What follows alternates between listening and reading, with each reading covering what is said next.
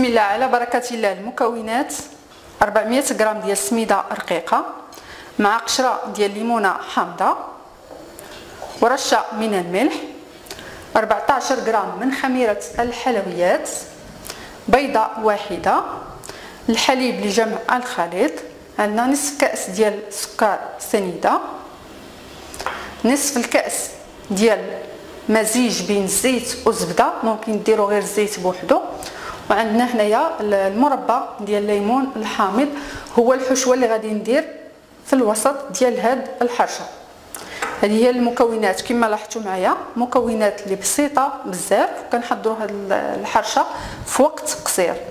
أول شيء غادي نضيف السكر بالنسبة للسكر القياس بملعقة تقريبا 3 ملاعق كبيرة أو 4 حسب الذوق. ممكن تنقصوا ولا تزيدوا.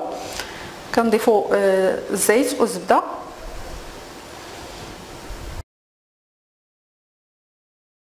كنحاولوا نخلطوا هاد المكونات.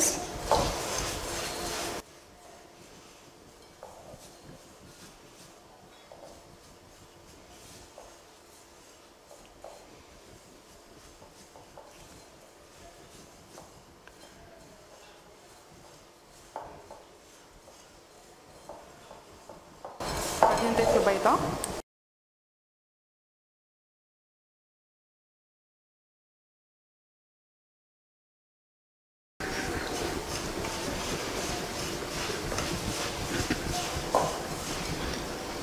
مباشرة كنضيفو خميرة الحلويات.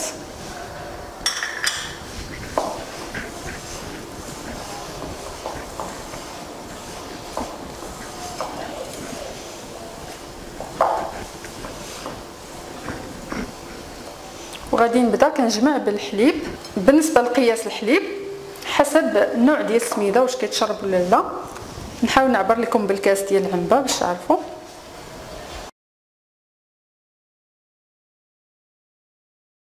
ناخذ الكاس الأول.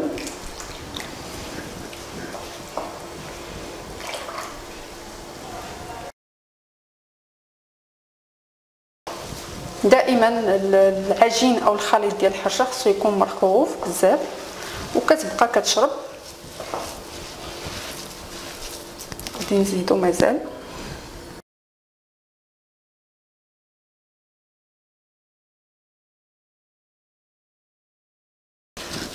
الكاس الثاني راه ما عامرش ديال الحليب.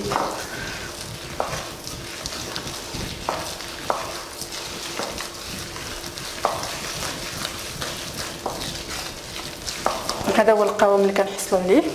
كتكون مرخوفة. نخليوها شوية كتشرب واحد العشرة دقائق تقريبا. كما لاحظتوا الكاس لاروب الثاني راه ما درتوش كامل.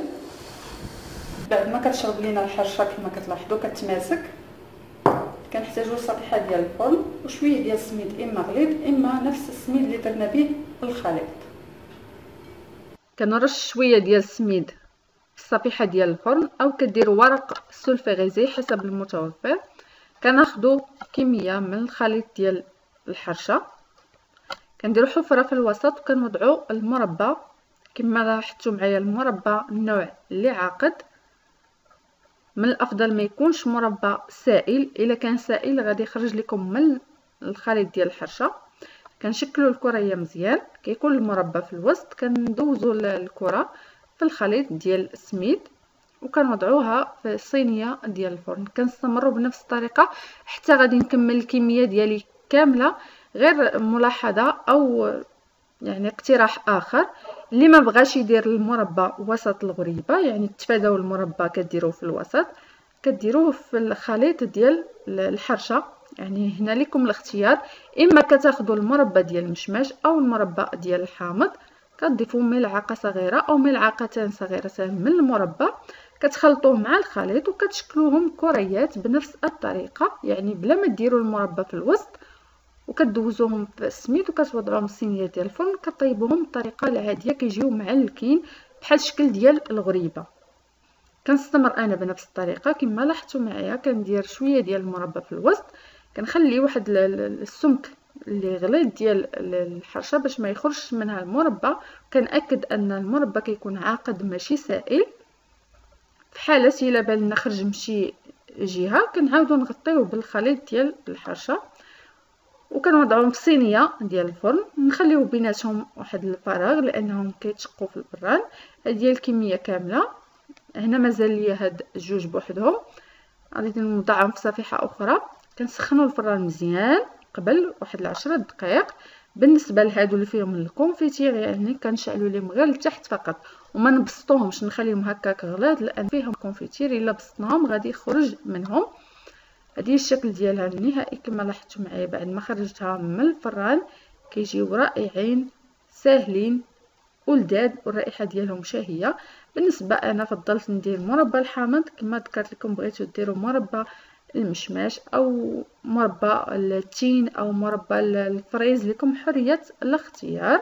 هادشي كيبقى حسب الذوق ديالكم غير يكون مربى نوعية اللي كتكون عاقدة نوعية جيدة.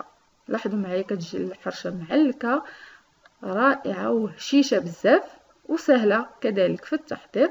وبالنسبة للفكرة ديال المربى كما ذكرت لكم اللي ما باش يديروا وسط الغريبة كيديروا مع الخليط ديال الحرشة.